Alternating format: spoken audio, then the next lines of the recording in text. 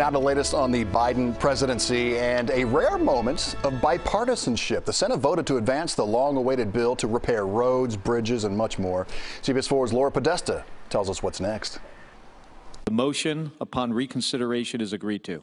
With a vote of 67 to 32, the Senate is now officially open to debate the plan President Biden has pushed for so long. Looks like we reached a bipartisan agreement on infrastructure, fancy word for bridges, roads, transit systems, high speed internet, clean drinking water. Some hurdles still remain. The legislative text still needs to be written, and progressive Democrats could demand changes. We anticipate over the course of the coming days, as we work through the amendment process, that we will earn and garner more support. Senate Majority Leader Chuck Schumer also wants to keep a close eye on what Democrats consider the other half of the prize passing a budget plan to fund universal preschool, create a paid family leave program, and enhance Medicare benefits. It might take some long nights, it might eat into our weekends but we are going to get the job done, and we are on track. A recent CBS News poll shows a majority of Americans support the bipartisan infrastructure plan with overwhelming support for specific elements of both plans.